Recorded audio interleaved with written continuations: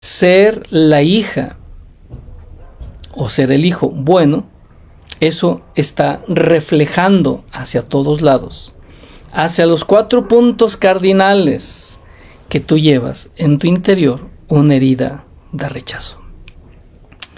Este es un, un tema tan fuerte por una razón. Porque no sé si ustedes, bueno, al menos yo sí crecí así. A mí no me da vergüenza decirlo.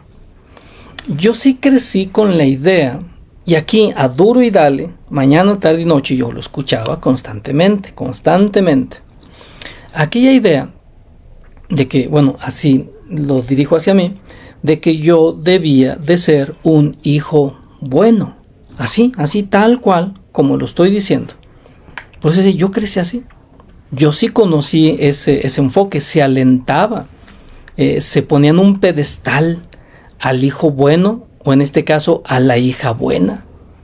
Y bueno, por esa razón, pues no sé si todos, pero un gran porcentaje de personas, pues en ese, caso desde niños, pues ahí a duro y dale, a duro y dale, tratando de ser el hijo bueno o tratando de conquistar ese estatus de hija buena.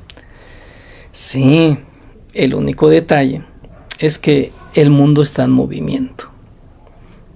Y lo que está oculto también sale a la luz.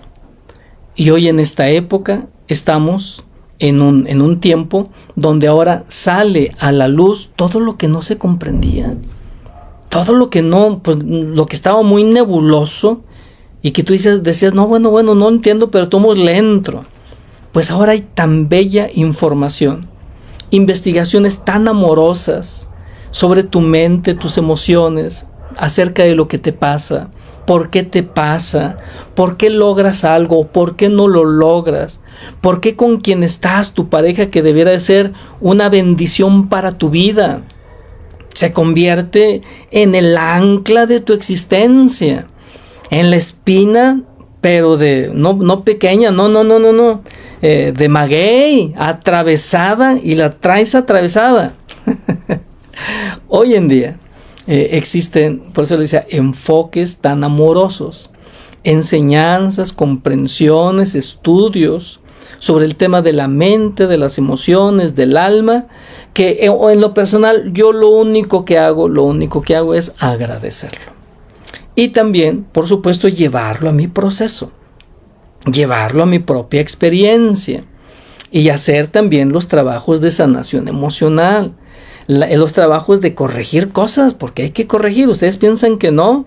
No, sí hay que corregir cosas para ir reencontrando o ir recuperando la de buena, la de buenas. Pues ir recuperando la autoestima, recuperando la confianza, el equilibrio, recuperando pues esa, esa aspiración a una vida plena. Oigan, yo no sé ustedes, pero ahora resulta, ahora resulta que era más importante en la época de nuestros papás, en la época de nuestros abuelos, que era mucho más importante que tú fueras bueno, aunque te estuviera llevando el diablo. ¡Qué barbaridad! Es decir, eh, que tú fueras bueno, eso es lo más importante. O sea, tu tarea es ser bueno. En este caso, tu tarea es ser buena.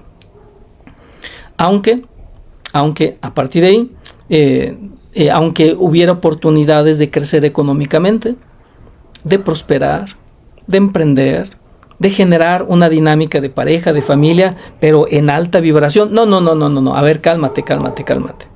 Acuérdate que tu tarea principal consiste en que seas buena. Ay, ay, ay. Hay un escritor, un escritor que lo leí hace, no, pues hace un buen rato, hace como, no sé, 15 años o más. Y ahí se me quedó grabada en la cabeza justamente por este tema.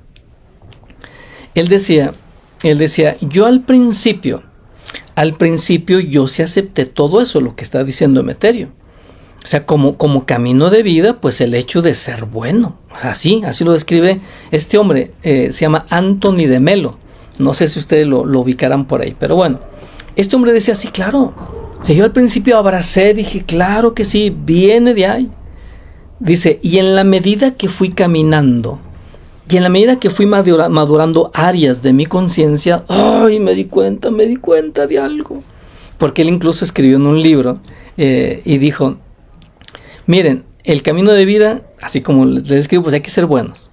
Incluso él decía, en mi epitafio quiero que digan eh, Anthony de Melo, una persona buena. Dice, ya, con eso, yo con eso estoy más allá del bien y el mal. El detalle es que fue creciendo y fue sanando sus heridas. Y en la medida que lo hizo, se echó para atrás. Come Meterio, sí, sí, se echó para atrás. Y eh, bueno, aparte, él era un estudioso de la conducta humana, eh, oficial, pero aparte era un sacerdote. y entonces él, con todo su dolor, o posiblemente con todo su entusiasmo, su alegría, en otro libro digo, dijo, oigan, oigan, me voy a echar para atrás. ¿Cómo que te vas a echar para atrás? Sí pues yo dije que la vida, que en tu vida, pues hay que ser buenos. Y hoy que ya he crecido, que he, que he sanado algunas heridas, me he dado cuenta de que no, no, no, no, olvídense de eso. El propósito de la vida no es ser bueno. ¿Cómo? Espérame, no, no nos asustes, Dios bendito. y él dice, sérense. Eh, el propósito de la vida es ser conscientes. Es ser conscientes. O sea, el ser bueno aquí o, el ser malo acá son los opuestos. Ser consciente está por encima de estos dos. Entonces él dice, el propósito de la vida, así como lo describe, no seas bueno, sé consciente, sé consciente.